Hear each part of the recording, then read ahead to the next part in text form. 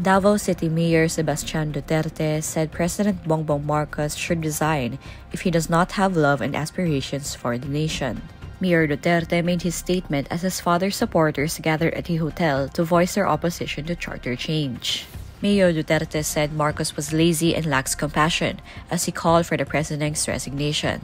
He added that Marcos's foreign policy has endangered Filipino lives.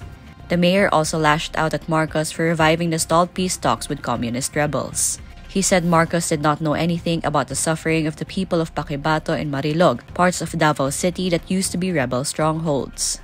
For her part, Vice President Sara Duterte says she has not spoken to her brother about his call for Marcos's resignation.